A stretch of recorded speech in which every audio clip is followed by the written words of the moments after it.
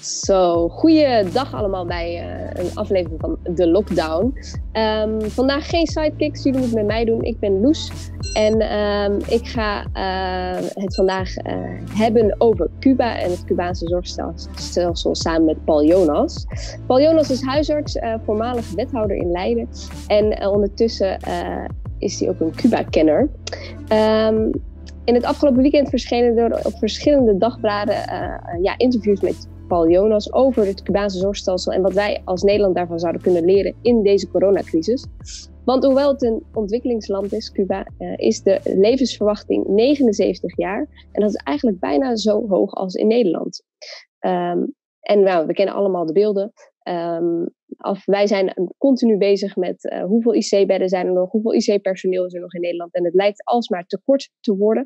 Uh, en ondertussen trekt Cuba een blik artsen open en uh, staan ze daar bij de Sp Spanjaarden, bij de Italianen om hen te helpen in deze crisis. Hoe kan dat en wat doen wij fout? Daar gaan we het vandaag over hebben. Uh, Paul, welkom allereerst. Um, kan je ja, vertellen eens, hoe, hoe is het met jou in isolatie en met jouw familie?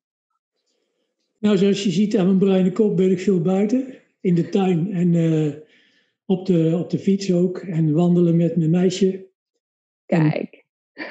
ja, en voor de rest, uh, ja, ik heb de laatste tijd inderdaad veel met de interviews bezig gehouden. En uh, ik probeer nog wat uh, ja, zeg maar, onderwijs te geven of mensen te adviseren. Ik krijg toch regelmatig telefoontjes. ben met buurtzorg heb ik een groot project, preventieproject, daar komen we misschien nog wel over te praten. Zeker. daar, hebben we, ja, daar hebben we ook conferenties gehad om die zaken toch door te laten lopen in deze periode. Ja, dus je bent alles een beetje zo ook over internet aan het doen. En, uh, ja. En, en uh, dat is altijd wel mooi, hè? Van zo'n, uh, tenminste, kijk, het is hartstikke vervelend in isolatie. maar je ziet wel inderdaad steeds meer mensen die naar buiten trekken om een klein stukje te lopen. Ja. Volgens mij deden we dat daar voorheen helemaal niet zoveel. Ik leer ook mijn eigen wijk veel beter kennen op deze manier. Ja, wat mij opvalt zijn de mensen ook vriendelijker. Dus meer, ja, solidariteit lijkt het wel. Dus ja. het goede kant op, denk ik. Ja, uh, helaas dat het ook met een offer komt dat mensen ook wel eenzaam zijn. Nou. Uh, hè? Uh, maar goed, daar gaan we het ook later nog wel een keertje over hebben. vandaag gaan we inzoomen op Cuba. Dus um, ik, nou, ja, ik had je al kort voorgesteld, maar kan je jezelf nog even voorstellen? En vooral, hoe kom jij in aanraking met Cuba en hoe raak je daar zo in verzeld? Ja, ik ben, ik ben Paul Jonas, voormalig huisarts, nog niet zo lang geleden gestopt. En op dit moment nog wel docent aan het LUMC op de afdeling public health en uh, eerste lijnsgeneeskunde, dus de huisartsenopleiding, zeg maar. En uh, daar uh, val ik soms in om groepen AIOS te begeleiden. Maar mijn, ja, zeg maar, mijn hoofdwerk is stages met Cuba organiseren. En alles wat daar zo bij hoort, en dat is behoorlijk wat. Opa ja. straat dus. en kan je eens vertellen hoe je dan in Cuba terechtkomt? Want, Ja, ja, het is een jaar of acht geleden uh, had ik een uh, fietsreisje met een gezelschap, mijn vrouw en ik, met een gezelschap gepland op Cuba. Ik wilde, ik wilde daar gewoon eens rondkijken. Ehm, mooi land lijkt me. En toen ik de gegevens zag van, want ja, je verdiep je toch even in de gezondheidszorg tevoren. Ja, ja, dat kan je niet loslaten dan, hè? Dat kun je niet loslaten, ik kan het niet helemaal loslaten. Nee. Uh, ja, de gezondheidszorg, die, die mensen die worden ongeveer even oud als wij. Je zei het in de inleiding ook al. En de kindersterfte, wat altijd een hele goede maat is, hoe de gezondheidszorg in een land Mhm. sterfte. Hoe de gezondheidszorg in een land ervoor staat, want daar komt alles bij elkaar bij die baby. Uh, die is 0,4 promiel en dat is uh, ook ongeveer zoiets als in Nederland. Toen dacht ik van, huh, dat is een ontwikkelingsland. het bruto Mhm. product is vele malen kleiner, ik geloof een zesde van wat wij hier hebben. En toch bereiken ze dat, dat, dat, dat, die waardes. Dus Mhm. ik heb gevraagd of ik daar eens in het gezondheidssysteem rond mag kijken. Dat moest via de ambassade, want ze laten niet, ja, niet alle pottenkijkers toe. Nee. Later snapte ik ook wel waarom, want de hele wereld komt daar over de vloer. Echt, het is niet te geloven. En uh, ja, toen ik daar was, ik was meteen onder de indruk eigenlijk. Te, uh, hoe, hoe ze dat daar aanpakken, heel systematisch, kleinschalig. De, de, artsen en de, verpleegkundigen niet te vergeten. Heel dicht bij de mensen. Dus compleet, ja, toch compleet anders dan hier. Dus ja, dat was eigenlijk een beetje de, de, de entree. En toen dacht ik van ja, verdikke, ze doen het daar zo goed. Uh, we moeten daar eens een verkenningsmissie uh, vanuit het LUMC, dan het Leids Universitair Medisch Centrum, gaan organiseren. Zijn we naartoe gegaan, uh, even kijken, dat was het, het, het jaar later. En nou, iedereen enthousiast. Er zat ook mensen bij die verstand hadden van vaccins. Trouwens heel actueel nou. dat is zo goed in, in Cuba. Uh, en en uh, weer een paar maanden later ben ik zelf gegaan om te kijken of er stage te organiseren waren. En, en zo is het gekomen. Dus, uh, ja, ja, indrukwekkend. In, in, intussen ja. zijn er kijken, meer dan, ja, ik denk dan 350 stagiaires en zeg maar, collega's al geweest en wijkverpleegkundigen ook. en ja, het, het gaat echt uit de pan reizen, zeg maar. Ja, er gaan steeds meer mensen naar Cuba en ze halen voornamelijk ook een hele hoop mee terug, volgens mij. Ja, klopt. Maar daar gaan we het zo nog over hebben. Ja. Ik was benieuwd, hoe gaat het met Cuba in deze pandemie en uh, ja, hoe bestrijden zij corona? Ja, daar was ik ook benieuwd naar. Ik heb het op de voet gevolgd, ik heb nog contacten daar, uh, veel zelfs. Uh, wat ze daar, het begon eigenlijk voordat dat, dat de eerste, zeg maar, corona-patiënt, zoals dat heet, daar was. Toen zagen ze dat al aankomen en ze hebben eigenlijk meteen op de televisie mensen voorbereid. En, en dat ging dus op prime time, waar dokters zeg maar, op, op, op, op het journaal zeg maar, kwamen, het Cubaanse journaal, en vertellen dat het eraan zat te komen en uh, uitleggen wat het was. Uh, ze hebben cursussen, hoe maak ik zelf een mondkapje. Dat was serieus. Het, zie een kleine glimlach op je gezicht. Maar je moet maar kijken, het is echt... ik ben heel benieuwd. Beelden zie je mevrouw met een naaimachine en dat is echt heel, heel goed. Dus voordat de eerste patiënt er was, waren de mensen al voorbereid in het land.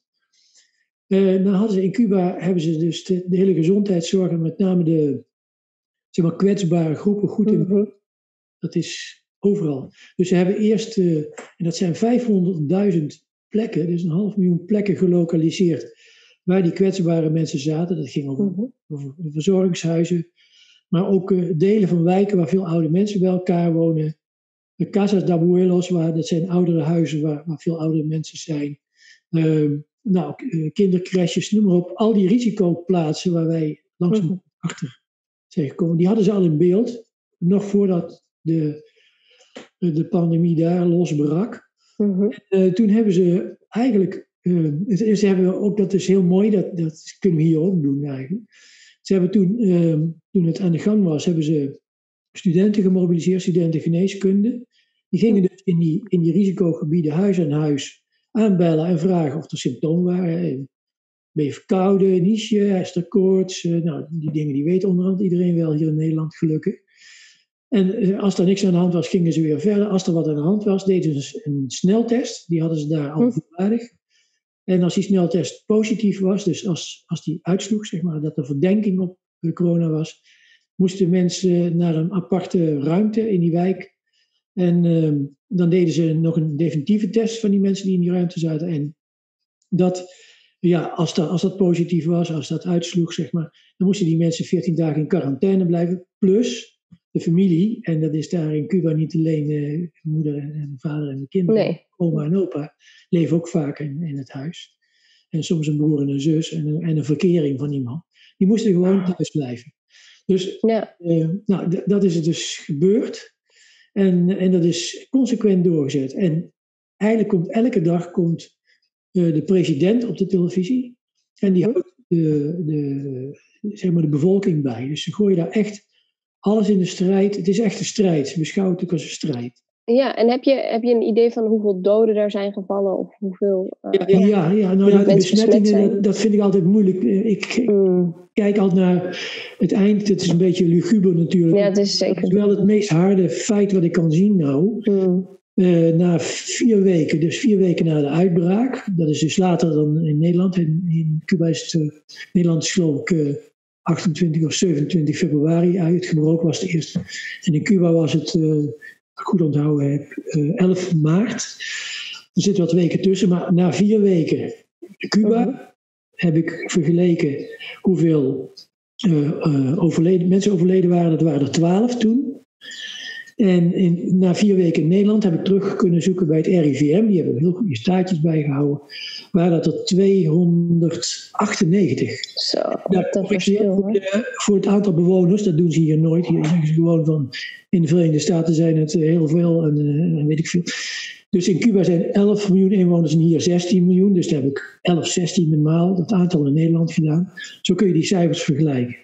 Dus dat cijfer wat ik noem, 12 versus 298, is een vergelijkbaar cijfer. Ja. Dat kwam, dat kwam niet door uh, dat het daar altijd mooi weer was of uh, andere zaken. Ze hebben de gezondheidszorg daar gebaseerd op uh, preventie en op het risico wat mensen lopen. En dat betaalt zich nou uit. Veel minder doden. Ik hou dat, blijf dat bijhouden. Jij kan het ook doen als je wil.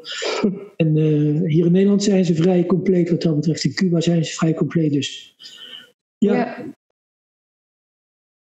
Wat kan je, wat, hè, wij, hoe, hoe kijk jij nu tegen de bestrijding in Nederland aan dan, als, als arts ook? En wat kunnen we leren van Cuba daarin? Ja, te laat en te slap, zeg ik altijd we wisten eigenlijk eind januari al uh, dat, dat de pandemie eraan zat te komen. Eh, en dat het ook echt. Het was wetenschappelijk onderzoek en dat horen, mensen te weten, de mensen, de hulpverleners van de regering, zeg maar, deskundigen.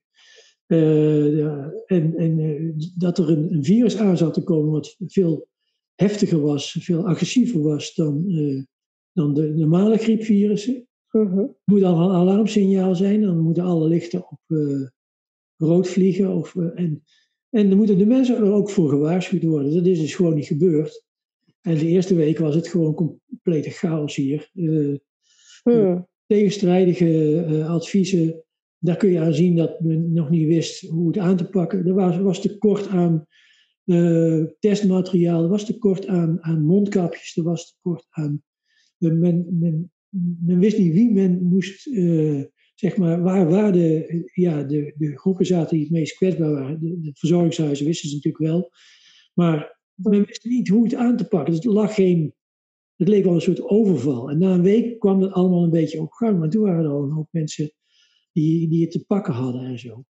Dus ze hadden het meteen daar in Brabant, bij de carnaval, hadden ze uh, de zaak daar aan moeten pakken geen carnavalsvirus naar, het, uh, naar het, uh, andere plaatsen van Nederland toe. En dat soort dingen, weet je wel?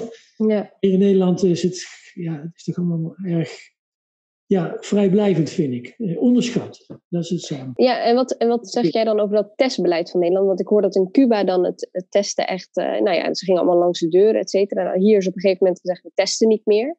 Ja. wat, wat vind jij daar dan van?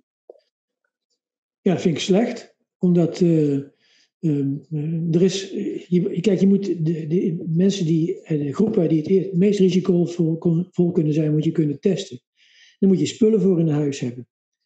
Nou, er is een fabriek Roche die, in Zwitserland, die heeft zo'n beetje, nou, die, dat is de grootste die testmateriaal maakt. En die kan dus met, met de productie, kan, kan die fabriek 30% van de benodigde testen die hier in Europa nodig waren, kunnen ze dekken. Maar meer ook niet. En die hebben dus de hele tijd geweigerd om hun, die, die, het recept van de testvloeistof beschikbaar te stellen. Want uh, ja, dat was bedrijfsgeheim en dan zouden ja, de concurrenten in handen krijgen en die zouden dat kunnen verkopen. En dat zou ten nadele van hun omzet gaan, et cetera, et cetera. Nou, ik denk als er zoiets gevaarlijks voor de gezond, volksgezondheid aankomt, mag er, die, uh, er is meteen grote druk aan vanuit de bevolking, vanuit de pers uitgeoefend en de politiek heeft toegezegd. En ook vanuit de politiek later, die lopen meestal er wat achteraan. En uh, toen, heeft, toen hebben ze uiteindelijk dat ook vrijgegeven. Maar ja, het, het moet er gemaakt worden. Er zit overal ja, dus er zit overal dat uh, een soort. Uh, ja, we lopen achter, zeg maar. Schaarste aan materialen, schaarste aan. En daarom moest er heel veel geïmproviseerd worden. En ik weet zeker, ik ben zelf dokter en ik weet ook van wijkverpleegkundigen, heb ik gehoord, mensen in het ziekenhuis. Mhm. Ja, die hebben echt grote risico's gelopen. Dat, zal, dat blijkt nou eigenlijk ook. In, in, in verzorgingshuizen hebben mensen grote risico's gelopen. Uh, mensen om het zelf te krijgen, mensen te besmetten. Uh, ja, dat moet niet kunnen in een land wat op een het meeste geld voor de gezondheidszorg uitgeeft in de wereld. Dan moet je gewoon spullen in huis Ja, want dan zeg je wat, hè. we geven zoveel, uh, zoveel uit. En dan kunnen ze dat eigenlijk, als je kijkt naar het aantal mensen wat overleden is aan het virus, veel beter in Cuba. Hoeveel daarvan heeft te maken met marktwerking in de zorg? Uh, want ik weet dat je daar heel erg uh, op tegen bent. kan je wat voorbeelden noemen? Ja, ik ben ook niet alleen. nee, zeker niet. Marktwerking is. Ik hoor nou van de meeste behoudende collega's ook inmiddels dat ze zeggen: van, ja, dit, dit, kan eigenlijk gewoon niet langer. Dus we staan denk ik denk voor een grote omkeer wat dat betreft, gelukkig, na tien jaar. Nog even je vraag herhalen. Ik... De, wat de impact kan zijn van marktwerking in de zorg. Want we hebben het over tekorten van uh, nou ja, mondmaskers en, en de La Roche. Dat is denk ik evident marktwerking. Ja. Dan zie je nog andere dingen. Bijvoorbeeld het personeel, de bedden. Um... Ja, de, de bedden uh, met een hoop gedoe krijgen en slopen van, van IC-bedden uit ziekenwagens en zo. Redden we het, hebben we nog gered. Maar uh, die primaire dingen, bijvoorbeeld testvloeistof. Uh, dat had al een vaccin kunnen zijn. Dat, ik, het is niet erg in de pers geweest, maar ik weet bijvoorbeeld dat in 2016, eh, nee, gaan we even eerder, in 2003, was mm uh, dokter Ben van der Zijs, dat was toen uh, het hoofd van, de, van het RIVM, die maakte toen, wij maakten toen nog zelf uh, in Nederland test. of, ja, vaccins.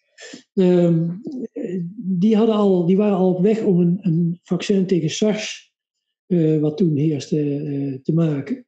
En dit virus, zoals je weet, is bekend, is, is verwant aan SARS. Dat is stopgezet omdat ja, zeg maar de, de mensen die de, de, de, industrie, zeg maar, niet, en ook de overheid moet ik zeggen, niet mm geld ervoor over had om dit verder te ontwikkelen. Het is duur onderzoek. Het moet geprobeerd worden op patiënten, op mhm. mensen, en op eerst op dieren en dan op mensen en dan nog eens op mensen op groep. Dus dat is een lang proces. Daar was het geld niet voor. Dat, dat, dat kwam eigenlijk om, ja, omdat, omdat de, ook de commercie het, uh, het geld niet wilde geven. In de Verenigde Staten, in Texas, is een kinderziekenhuis dat, dat, waar de wetenschappers, uh, ik weet niet hoe het heet meer, maar dat kun je zo opzoeken, want er zijn niet zoveel kinderziekenhuizen in Texas. Uh, die hadden eigenlijk al uh, in 2016 een heel veelbelovend vaccin ontwikkeld tegen SARS die, die zagen het. Een hele hoop wetenschappers hebben het gewoon gezien. Maar dat moest toen ontwikkeld worden door ja, de Verenigde Staten, door uh, de, de, industrie. Die hebben gezegd, nou, om dat spul te ontwikkelen terwijl er geen pandemie is of terwijl er geen epidemie is, ja, dat, dat brengt voor ons niks op. Dat spul ligt daar maar en uh, daar verdienen we geen geld mee. En ons eerste doel is winst maken. Dus dat is ja. stopgezet dat, zijn, dat vind ik dingen die zijn, die zijn niet in de, in de publiciteit geweest. En dat vind ik wel twee hele belangrijke voorbeelden. Maar goed, mm testvloeistof heb ik net gezegd. Dat is ja, echt van, van een paar weken geleden. Uh, de mondkapjes ook, eigenlijk hetzelfde verhaal. Ja, dat horen we nu heel veel, hè? Ja. Wat zei je? Ja, dat hoor je nu eigenlijk heel veel, hè? En dus ja, dat, nou, een beetje... dat komt ook omdat uh, zeg maar, mondkapjes worden in, in, in uh, ziekenhuizen gebruikt. Meestal uh, voor de normale werkers wel voldoende natuurlijk, voldoende voorraad. Maar voor pandemieën waarvan de, de, deskundigen wisten dat er gewoon die dingen aan zitten te komen. En wij weten nou ook dat er meer pandemieën zullen komen. Men had hier geen voorraden aangelegd. Uh, de, de, de meeste mondkapjes, de, de, productie zat in, in lage loonlanden, met name in China. En weer die winst die maakt dat, ook medicijnen trouwens, de 80% van de grondstoffen van medicijnen wordt door China geproduceerd. Dus we zijn, omdat het een lage loonland is, dus de, de grondstoffen kosten daar het, minste. Dus bedrijven die gaan daar hun grondstoffen bestellen. Mhm. Die risico's die zijn niet gespreid. Dus als China op een gegeven moment zegt niet, of uh, ik weet niet wat het in China is, uh, ja, dan, dan zitten we met, met een gebak peren. Nou, zijn, zijn ze als razende handelaren die, die dat al aan zagen komen. Ik las gisteren een stuk uit van een handelaar in het oosten des lands, ik zal geen namen noemen. Die had uh, die, die, die epidemie aan zitten komen. dacht, nou ga ik mondkapjes in China inkopen. Die heeft ontzettend duizenden, tienduizenden mondkapjes ingekocht. En die kan ze nou voor dik geld verkopen. Ja, en daar gaat het geld dus eigenlijk alweer. Hè? Dat zijn dus allemaal voorbeelden van, van hoe de, de commercie eigenlijk bepaalt waar wat te krijgen is en niet de volksgezondheid. Nee, heel belangrijk. Ehm, wat ik dan zo bijzonder vind, want wij hebben het dan over het personeel bijvoorbeeld. Hè. Er is niet genoeg IC-personeel. Er zijn eigenlijk niet genoeg verpleegkundigen om iedereen bij te staan. Uh, het, het gaat heet het over bedden, maar het gaat ook heel erg over personeel. En dan hoor je tegelijkertijd dat, uh, nou ja, dat, dat Spanje en Italië zomaar een aantal Cubaanse artsen en medici uh, krijgen um, om hen te helpen. En dan vraag ik me af, zijn er dan zoveel artsen en hoe zit dat?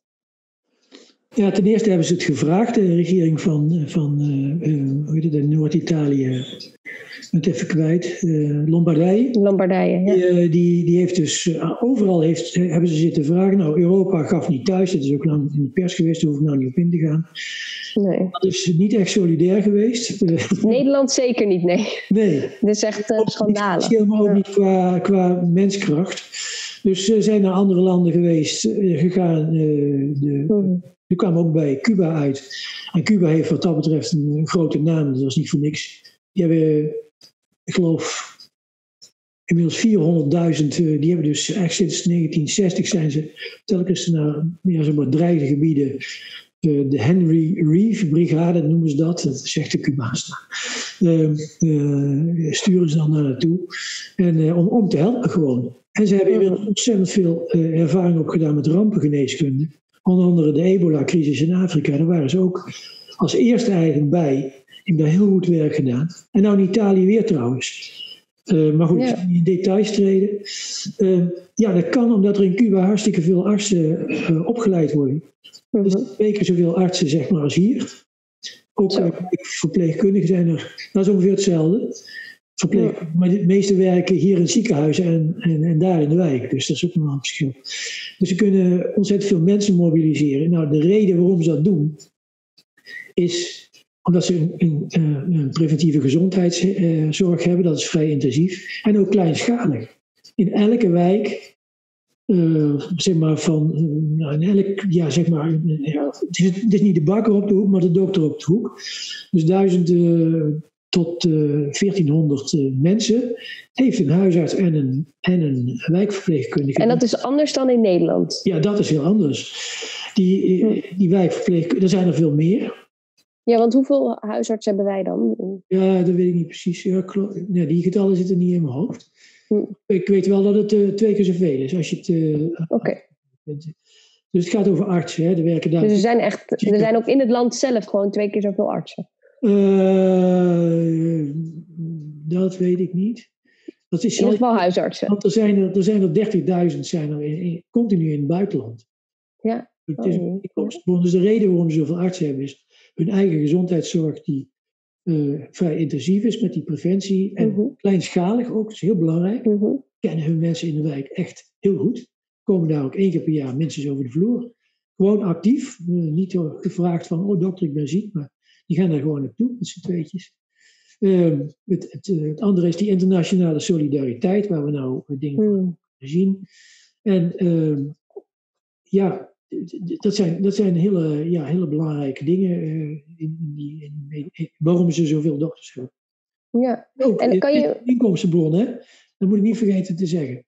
Uh, door dit, dat uitzenden van dokters naar gebied, mm-hmm. ze zetten dus in bepaalde landen, in bijvoorbeeld in Venezuela en in Bolivia en een andere, in, in Noord-Brazilië, hebben ze de hele uh, eerste lijnstructuur, dus de gezondheidsstructuur, mm-hmm. opgezet. En daar vragen ze geld voor natuurlijk. En die inkomsten, dat is, dat is ongeveer zo'n 5 miljard per jaar. Dus, Zo. dus 10% van het nationaal budget. Dus uh, dat is ook een reden waarom ze, waarom ze zoveel dokters opleiden. Dat weten ze ook. Die, dok, die mm-hmm. medicijnen gaan studeren, die geneeskunde gaan studeren, die weten dat dat eraan kan zitten, omdat ze die mogelijkheid krijgen. Dus het is echt wel vrijwillig. Wat niet vrijwillig is, is daar, dat ze na hun opleiding uh, geneeskunde twee jaar uh, sociale dienstplicht hebben in de zorg. Niet in... Dus alle artsen die moeten twee jaar sociale dienstplicht doen? En uh, dat zijn dan een soort huisartsen. Dus die werken op die kleine wijkcentra mee in de patiëntenzorg. Twee jaar. Ja, want kan je daar wat meer over vertellen? Want ik hoorde je zeggen van preventie. Hoe ziet dat eruit, zeg maar, zo'n kleinschalige zorg, om het zo maar te zeggen? Uh, nou, er is een uh, klein gebouwtje in de wijk of onder in een flat of zo. Dus, uh, vaak niet te onderscheiden, ja, met een bord. Hier zit de dokter en de, en, de wijkverpleegster. Consultorio noemen ze dat. Zit in de wijk. Ehm, Beetje zoals een huisarts hier. Ja, maar, maar dan een gewoon huis in de wijk. Meestal woont de komende dokter en de zuster ook uit die wijk. Daar streven ze naar. Ja, dat is mooi. Natuurlijk, met zoveel uh, dokters en zusters. Uh, ze wonen ook of bij de praktijk, of vlak erbij, in, in de praktijk of erboven of zo. Dus ze zijn snel beschikbaar. Um, er loopt ook nog een, een, technicus, noemen ze dat daar rond. Die, ja, die doet allerlei dingen met administratie en met uh, bijvoorbeeld uh, als er ergens een, een in de buurt uh, een muggenplaag is, dat is in, hier is het gewoon vervelend, maar daar kan de knokkelkoorts rondgebracht worden. Dus het is een ziekte waar ook eigenlijk geen medicijnen tegen zijn. En dat, dat, ook, dat wilden ze voorkomen. Nou, dan gaan die technici die gaan de wijk rond en die gaan dus overal ontsmetten en zo. En met mensen voorlichten enzovoort. Um, nou, die dokter en die zuster die, die hebben gewoon spreekuur s ochtends en smiddags. Mm -hmm. En iedere uh, gezin of iedere familie in die wijk krijgt minstens één keer per jaar bezoek van de dokter en de zuster. En hoe meer risico je hebt, ze hebben daar de mensen in risicoklassen ingedeeld. Gezond is één. Uh, risicofactoren in de familie. Dus bijvoorbeeld hart- en vaatziekten in de familie. hoef je zelf nog niet te hebben. Uh, dat is, dat is klasse 2. als je zelf een chronische ziekte hebt, of rookt, is klasse 3. Roken, in het sigarenland wordt roken als ziekte beschouwd. Weet je, ja. ja. Dan zit je al helemaal in klasse 3, zeg Dan zit je in klasse 3 en 4 is uh, chronisch uh, beperkt, zeg maar, door je ziekte. Ja. En het idee is dat ze mensen proberen van zo, zo, lang mogelijk in klasse 1 te houden, om het zo maar te zeggen. Dat, ja. dat snappen mensen ook. Hier is het, gaat het per orgaan en ja, wordt het al snel wat moeilijk. Zeker als je weet dat ja, dat is misschien toch een zijpad, maar wel een belangrijk zijpad, dat de bevolking in Cuba is bijna volledig gealfabetiseerd. Ze kunnen, ik geloof 0,2% of zo, kan niet lezen of schrijven. Dan mag jij eens raaien hoe dat in Nederland is. Ja, nou dat vind ik altijd heel moeilijk. Ja, het is, dit is altijd veel, het is, het is, slechter dan we denken volgens mij. Met het, het is heel slecht. 12% ja. van Nederlanders kan niet lezen of schrijven. 12%? Jeetje, ja. Zie je, het ligt altijd veel hoger dan ik dacht in mijn hoofd. 20% is functioneel analfabeet. Ja. Dat wil zeggen, ze kunnen, ze kunnen wel lezen of schrijven, maar ze kunnen dingen niet begrijpen.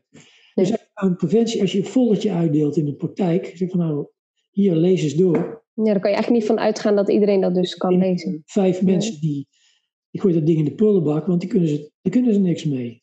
Mm -mm. Ja, en allerlei, er zijn hè, VARO's, dat zijn organisaties, die doen hier verschrikkelijk hun best om ja. met plaatjes en zo. En dat, maar ik vind het een schande voor Nederland. En dat heeft ook met, met gezondheidszorg te maken. Zeker als je preventie wil doen. Nou, we waren in die huisartspraktijk, hoe de nee, morgen spreekuur. De wijkzuster doet op dat spreekuur uh, allerlei controles. De periodieke controle van het bloeddruk, uh, van, van de suiker. dus dat gaat, wat, wat hier ook gebeurt, maar dat gebeurt dan echt heel systematisch. Er zijn mm -hmm. zes prioriteitsprogramma's, dus die hebben voorrang in Cuba. Dat zijn de zorg voor ouderen, de zorg voor moeder en kind. je hebt ook pas een kleine gekregen, dus jij valt het prioriteitsprogramma. Kijk aan. Uh, de chronische ziekten zoals hart- en vaatziekten, longziekten en de spoedeisende hulp. Dat zijn de prioriteitsprogramma's. Dus daar gaat ook het meeste geld heen, overal in Cuba. En hier is het ja toch maar een beetje. En dan wordt het in de wijk wordt het fijn afgestemd. Elk jaar, dat, ik vertel nog maar het hele verhaal. Ja, dat. Uh, Elke dag gaat iemand van de praktijken in een grotere wijk gaat naar een centraal punt, naar de Polyclinico. Die hebben ze daar Mm -hmm. polykliniek. En die, uh, daar zit een epidemioloog, een wijkepidemioloog. Dat is een meneer of een mevrouw die heel veel verstand heeft van cijfertjes. Die verzamelt al die cijfers. Dus ze hebben na een, een, een jaar een compleet beeld van wat er in die wijk aan de hand is, gezondheidstechnisch gezien. Ze hebben ook, in dat jaar hebben ze ook regelmatig gesprekken met uh, uh, zeg maar de voorzitter van de buurtvereniging, de voorzitter van de alcoholistenvereniging, de FMC, dus de vrouwenorganisatie. Kortom, ze, dus de sleutelfiguren noemen ze dat hier. Daar hebben ze constant contact mee. Dus die, die, die, ze weten wat er in die wijk aan de hand is. En het wordt, eens per jaar worden al die gegevens bij elkaar gezet. De, de vertegenwoordigers van dokters, verpleegkundigen, de gemeente, uh, de, en dat is dan uh, gemeentewerken, hè, dus mm -hmm. gaat over de openbare ruimte. En nog een paar anderen, die zitten bij elkaar en die gaan kijken wat, wat, wat is hier het probleem nou, het, gezondheid, het grootste gezondheidsprobleem in deze wijk. Oh, ehm, we zien dat er een aantal uh, heupbreuken bij ouderen fors toegenomen is. Hoe komt dat? Uh, weet jij er iets van, gemeentewerken? Nou, dat gaat dan zo, uh, nou, het blijkt dat er in bepaalde straten gewoon heel veel losse stoeptegeltjes liggen. Ik noem maar een voorbeeld. Dus, dit is echt gebeurd. ik kan het niet verzinnen. maar dan zorgen ze dus voor in het jaarplan voor het volgend jaar dat die stoeptegeltjes gemaakt worden. En de stoeptegel is nou maar een voorbeeld. Maar ook dus pakken echt de oorzaak aan. Dus als ja, bijvoorbeeld als de, moeder, als de babysterfte ineens veel hoger dan het gemiddelde is, dan is het, oei oei, dat doen we iets niet goed. Dus dan gaan ze naar die uh, moederhuizen waar, waar de risicozwangerschap, mensen met risicozwangerschap, vrouwen met risicozwangerschap zijn de laatste drie maanden van hun zwangerschap. Dat is hier ook niet trouwens. En dan gaan ze kijken hoe dat daar gaat. Ik, zonder het te weten dat het in Cuba gebeurt, heb ik dat zelf ook hier in Nederland in de eigen praktijk gedaan. Uh, bijvoorbeeld, wij, wij, deden eens per, per jaar, probeerden al onze ouderen, dat waren 70-plussers dan, gingen, gingen vrijwilligers, die hadden we zelf opgeleid, gingen daar naartoe voor een bezoek. Ja, want even voor de duidelijkheid, volgens, jij werkte bij een praktijk, maar dat was niet zomaar een praktijk ook, hè? Nee, die was die gebaseerd op, uh, op preventie. En uh, dat was een uh, praktijk die was ooit door de Socialistische Partij opgericht, heel ver verleden. en ehm, de, de, artsen waren in loondienst. De, ja, pre preventie was eigenlijk het, het, belangrijkste. Dat deden we zo goed en kwaad als het ging. Want volgens mij, als, we, als ik het goed begrijp, dat soort praktijken zijn nog wel, maar in België, van de PvdA geneeskunde van het volk, hè? Ja, ja, ja, ja, ja. En daar lijkt het een beetje op, volgens mij. Ja, klopt, ja. ja. In Nederland hebben uh, mensen toch... Uh, wij, wij, wilden ook graag een voorbeeld zijn. En heel veel praktijken doen het nou ook zo. Die zijn veel, toch veel meer... Maar ja, die zijn veel meer op preventie gericht. Dat wil zeggen uitstrijkjes en uh, nou, ja. allerlei. Individuele preventie eigenlijk. Ja, individuele preventie, precies. Maar ook groepen hoor. Er zijn ook dokters die gaan met met stel patiënten het bos inlopen. Maar die komen nog in de krant, want dat zijn uitzonderingen. Ja. Uh, uh, maar jou, jou, jij vertelde ook iets wat jij aan het doen was in die praktijk. Ja, ja. ja dat, vind ik, dat vind ik ook wel een hartstikke ja, sprekend voorbeeld. Hoe, hoe simpel het ook kan zijn. Hmm. Wij deden dus met die vrijwilligers uh, die gezondheidstest. We gingen naar die ouderen toe. Uh, met vragenlijsten en we deden, deden ook bloedonderzoek, uh, de gewone screeningsdingen van het bloedgehalte, dus het HB, de, het hemoglobinegehalte, kijken of ze bloedarmoede hebben, kijken of ze suiker hebben, maar ook vitamine B12 gehalte, wat een indicator is voor, een aanwijzer is van hoe wordt er gegeten. wordt er goed gegeten enzovoort of niet. Toen zagen wij bij een aantal mensen opvallend veel een tekort aan B12-vitamine. Uh, dacht, hey, hoe ging uh, toen, zijn we, toen zijn we dus naar die, naar die, die directeur toe gegaan van het uh, bejaardenhuis, heette dat toen nog. En, en, en, de kok erbij gehaald. Zei van, god, ehm, niet met beschuldigende vingertje, maar nieuwsgierig gewoon. Hebben jullie een idee hoe, hoe dat komt? Is er iets met voeding hier? Waar haal je het vandaan?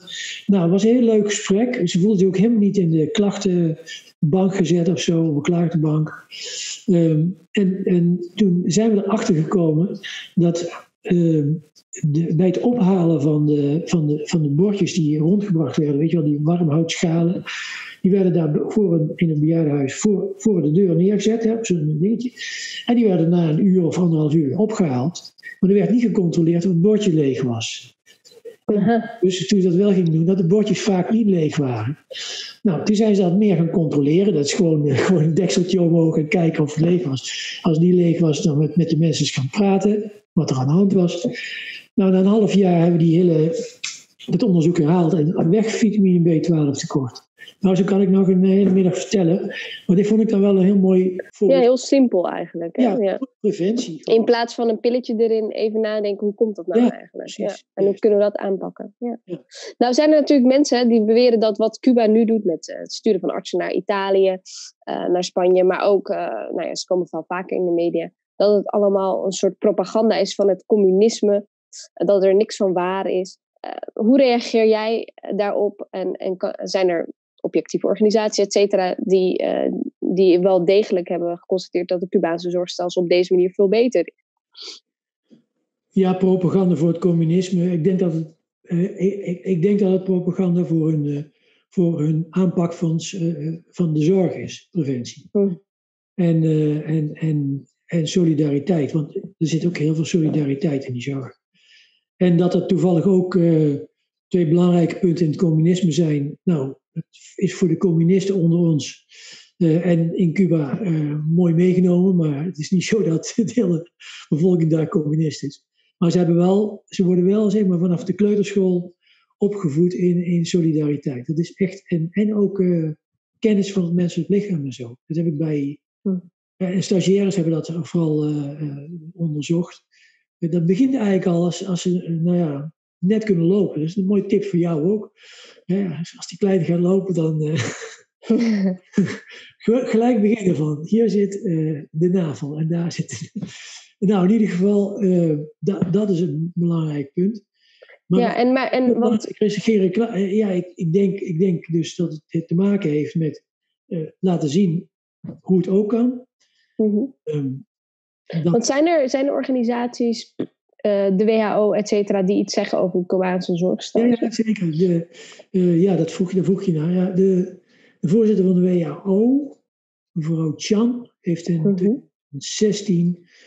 eigenlijk een heel verhaal gehouden. En daarin Cuba als voorbeeld voor de hele wereld, met name voor ontwikkelingslanden gesteld, maar eigenlijk voor heel de wereld. Van die aanpak zoals dat daar goed doen met actieve preventie. Dus niet wachten tot mensen, tot mensen ziek worden. Uh, en niet, niet te voorzichtig zijn ermee, maar gewoon uh, ja, naartoe. En, en die dokter die komt één keer per jaar bij jou in huis.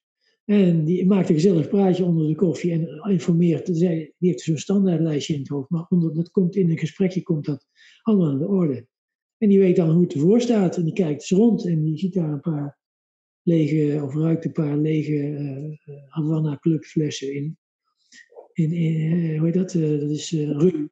rum, ja, dat is geen goed teken dan, denk ik. probleem. Nou, in ieder geval, waarom komen ze in het buitenland? Eén, laten zien hoe het moet. Ze, zijn er ook trots op. Mm Hoor je ook.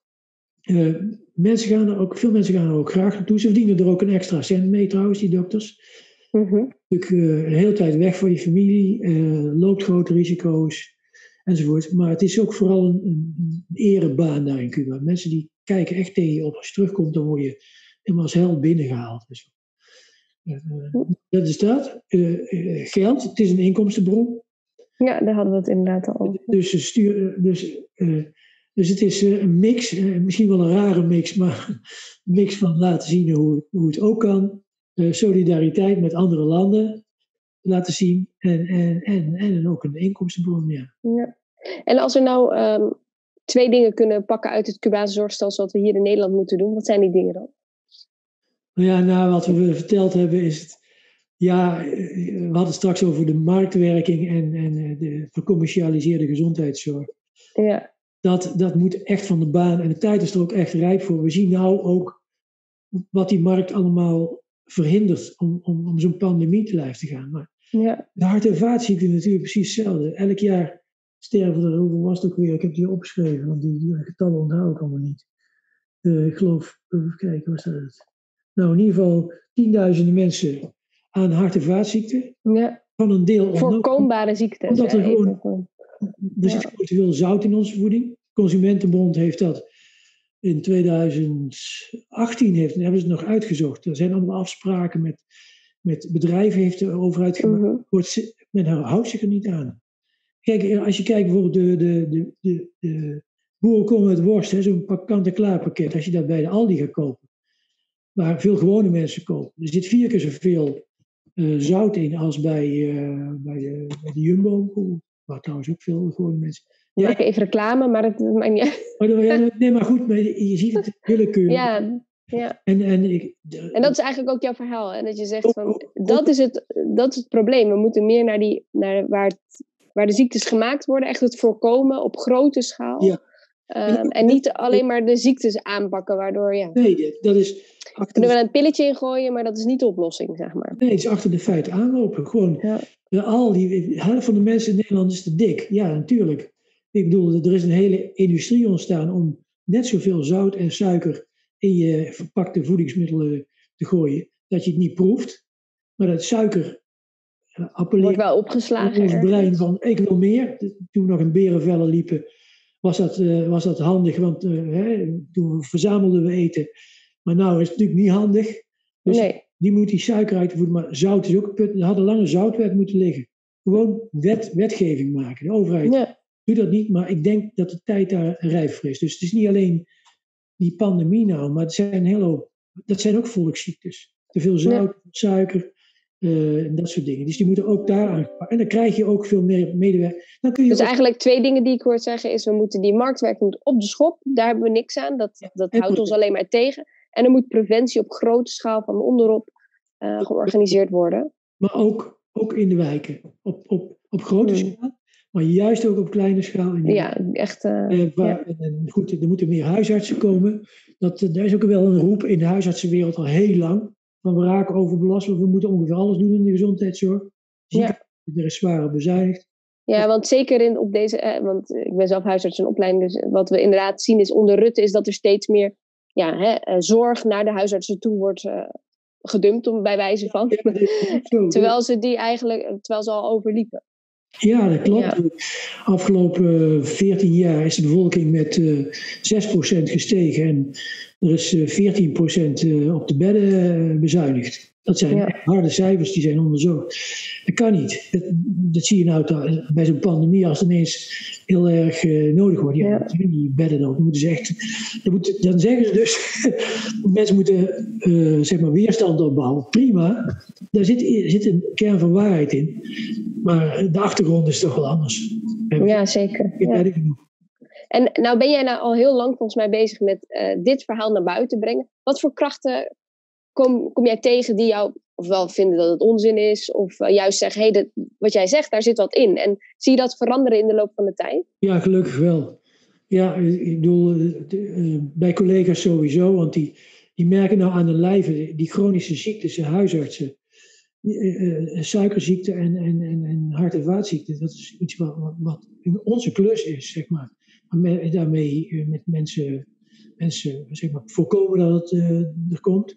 En als ze het dan hebben, ook dan behandelen. En uh, ja, dat, loopt over de schoenen. Dus door hun eigen praktijkervaring zien ze dat, dat er meer preventie nodig is. Er, er wordt ook serieus aan gewerkt hoor, in die gremia. Een petje af voor al die collega's en die, hmm. en die wijkverpleegkundigen die, die de frontlijn staan. Niet zo spectaculair als nou, maar ze staan wel dag en nacht in de frontlijn.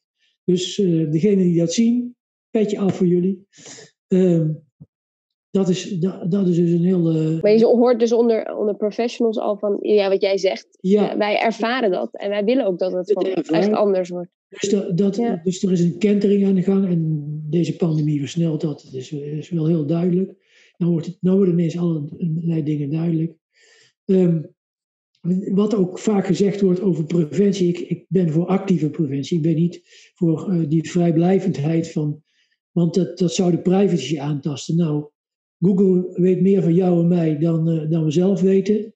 Dus ik praat me niet over privacy. dus uh, goed, je moet, je moet daar voorzichtig mee zijn natuurlijk. Maar uh, als het gaat over de gezondheid, is ons grootste goed. Dat vinden alle Nederlanders, alle enquêtes van de laatste 100 jaar, zal ik maar zeggen. dus uh, mensen zijn, dat leeft niet meer zo onder mensen. Onder een bepaalde groep wel. Mm-hmm. Maar ik denk dat je best als huisarts gewoon één keer per jaar bij, uh, dat gebeurt trouwens ook, collega's van mij doen dat. Eén keer per jaar gewoon na spreekuurtijd aan kunt bellen. En zegt van, hey, kom eens een bezoekje doen bij jou. Ja, en op zich... Collega van mij in Den Haag heeft dat gedaan. Die, die zit in de Schilderswijk, of in de stationswijkbuurt in Den Haag. Hij zegt, Paul, je weet niet wat ik te weten kom van de mensen. Die, die ging dus s'avonds met zijn AIOS, met de, de huisarts en opleiding, ging die een paar weken eh, gewoon s'avonds langs de deur in een wijk van mensen die hij haast nooit zag, een arme wijk. En daar is, daar is allerlei mooie dingen uit voortgekomen. Dus, ja, en op zich vind ik, want je hebt het over hè, privacy, dat is een ding. Ja, dat is ook een probleem. We willen niet dat onze privacy aangetast wordt, maar volgens mij vinden de meeste mensen niet zo erg als een huisarts langskomt. Want die heeft toch ook beroepsgeheim. Ja, nou, ik vind, ik vind eh, wat ik altijd gedaan heb in, in mijn praktijkjaar is, als er een babytje geboren, ik heb zelf nooit bevalling gedaan, ja, mijn opleiding wel, maar een babytje geboren was, dan ging ik altijd even kijken. En dan ging ik kijken om, gewoon weer dat contact met die, met die, met de, met die nieuwe uh, boorling, zeg maar, te, te leggen. Maar ook uh, om eens te kijken hoe het er thuis voor stond. Of, of, het allemaal uh, in orde was daar. En dat wisten de mensen en ze stelden dat op prijs. Dus ik, ik, ik deel er niet zo zwaar aan. Dus dat argument hoor je daar vaak hier in Nederland van tegenstanders. Je moet niet actief met preventie zijn. Ik ben al bezig met een buurtzorgproject. Mm Nou, uh, dat, die, dat doen de wijkverpleegkundigen. En die bellen gewoon aan. Die, die, gaan gewoon, die gaan gewoon, die, zorgen, die formeren groepen van mensen die zeg maar, voor de gezondheid gaan in de buurt, voor preventie van de gezondheid. En dat heeft vaak met eenzaamheid en met depressie en met. Uh, er zijn er ook die gaan bloed meten in de supermarkt. Hè, om mensen te laten zien van, joh, zo kan het ook. Uh, dat is allemaal actieve preventie. En ja, en daar moeten we eigenlijk dus naartoe. Dat is wat je zegt. Het is ook leuk. Het wordt, preventie heeft zo'n dor imago van hm. GGD, cijfertjes, prikken, hielprik, dit prik, dat prik. Maar het is eigenlijk, het kan ontzettend leuk zijn. Ik daag ja. iedereen uit die, die, uh, die, die, die, er nog, die, die dat idee nog heeft om eens langs te komen of eens contact op te nemen. En dan organiseer ik een avond voor die mensen om eens te laten zien, ook in de praktijk, hoe leuk preventie kan zijn. Ja. Het is wel heel mooi dat je dat zegt, want dat was eigenlijk ook mijn, eigenlijk mijn laatste vraag. Want stel dat er mensen kijken die zeggen: hey, ik wil daar wat meer over weten, over de Cubaanse zorg of over hoe we preventie kunnen um, lanceren in Nederland. Waar kunnen ze dan terecht? Ik zal mijn, mijn mailadres op het LUMC geven. Dat is een goed idee, denk ik. Anders loopt hij over. ja, misschien toch wel. Nou, ik heb nou, na die artikelen heb ik al uh, echt tientallen, misschien wel een paar honderd uh, reacties gehad. Mooi. Negatieve, want die blijven natuurlijk altijd het meeste bij. En de rest is allemaal hartstikke positief. En die mensen willen meer en zo. Dus nou ja. Uh, het adres is, het mailadres is hoofdletters p.p.m van Marietje. Mm -hmm. Jo, Jonas. Staartje lumc.nl Kijk, dus voor alle mensen die uh, meer willen weten, want we zijn een beetje aan het einde gekomen van ons interview. Uh, je kan uh, Paul Jonas zelf benaderen met je vragen. Ehm, ja, nou ja, goed. Eh, stel je vragen en, en wellicht kan je misschien zelfs als je geluk hebt een keer mee met, naar Cuba, denk ik. Want er zijn ook nog stages die je organiseert, dus wie weet. Ja, ja, zeker. De, de, zowel de professionals als studenten, verpleegkunde, is een diëtist mee geweest. Uh, nou, Hartstikke mooi. Ja, dan kan je het eigenlijk in levende lijven uh, daar zien en daar wat van leren en terugbrengen naar Nederland natuurlijk.